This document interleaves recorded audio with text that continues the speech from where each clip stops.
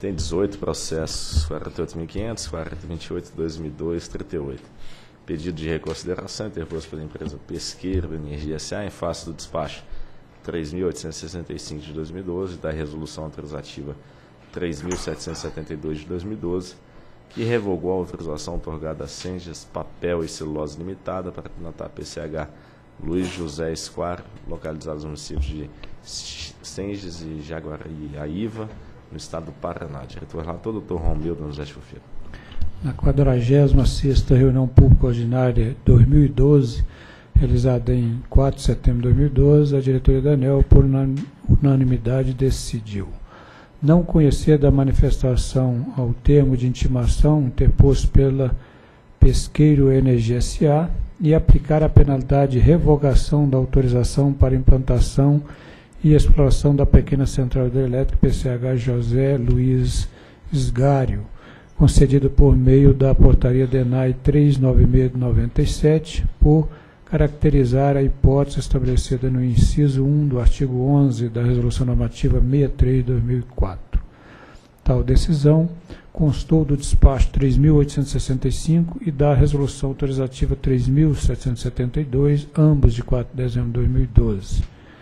Quanto à referida decisão, a Pesqueiro Energia interpôs pedido de reconsideração com pedido de efeito suspensivo, por meio do qual solicitou a revogação da Resolução 3.772, mantendo-se a autorização concedida a Sengés Papel Celulose Limitada para implantar a PCH Luiz José Esgário. A continuidade do processo de transferência de titularidade da referida PCH para Pesqueiro Energia SA, cujo processo foi suspenso em razão do termo de intimação 1013-2011, emitido pela SFG, e análise da aprovação imediata do estudo de revisão do inventário do rio Jaguariaíva, entregue em maio de 2009.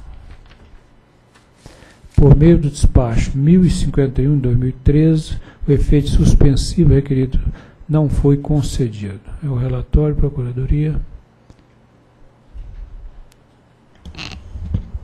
A Procuradoria opinou nesse processo no parecer 84-2012, ainda quando da decisão da possível revogação da, da autorização. E ali, inicialmente, a Procuradoria é, examinou a legitimidade da, da pesqueiro é, para fazer esse, é, essa defesa no, do termo de intimação, já que não é ela a detentora da, da, da outorga da PCH Luiz José Esguário. Né? E o fato de ter a detentora feito uma transferência das terras para a pesqueira energética não faz com que ela seja a, legitimada para manifestar e fazer a defesa, da mesma forma que não é legitimada para apresentar pedido de reconsideração em relação a essa decisão.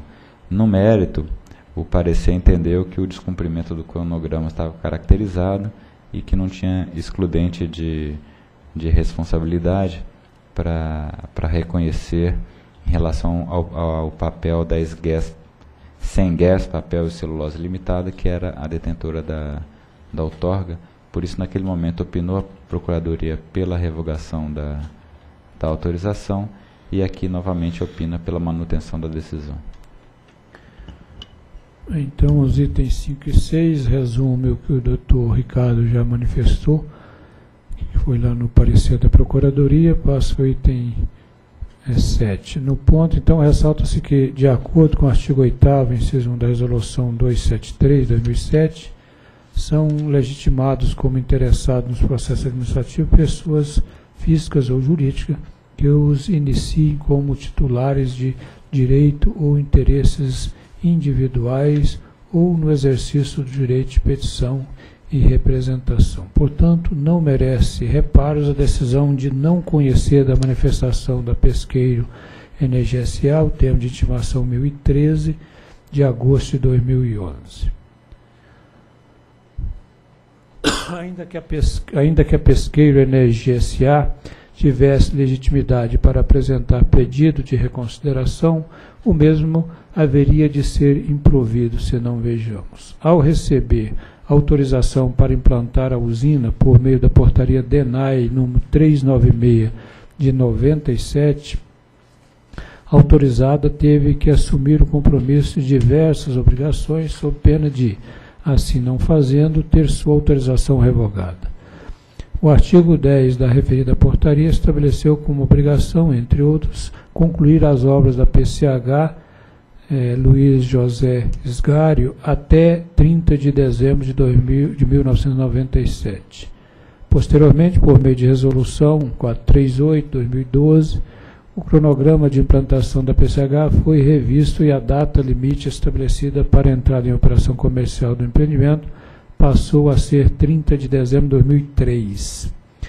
A Pesqueiro Energia SA alegou, em síntese, afronta ao direito da ampla defesa e que, em nenhum momento, foi levado em consideração o que consta do processo, 4, do processo 457-2002, é, tramitado na vara civil da Câmara de Jaguariaíva, referente à ação é, possessória das terras para implantação da usina, cuja transação é, extintiva do litígio custou aproximadamente 5 milhões de reais. Alegou também que sempre adotou todas as providências necessárias para atender às exigências da ANEL e só não fez mais por força de liminares determinadas pela Justiça da comarca lá de Jaguariaíva, que impediram a obtenção de licenciamento ambiental, o início das obras e o atendimento às normas regulatórias referentes à transferência de titularidade. Argumentou ainda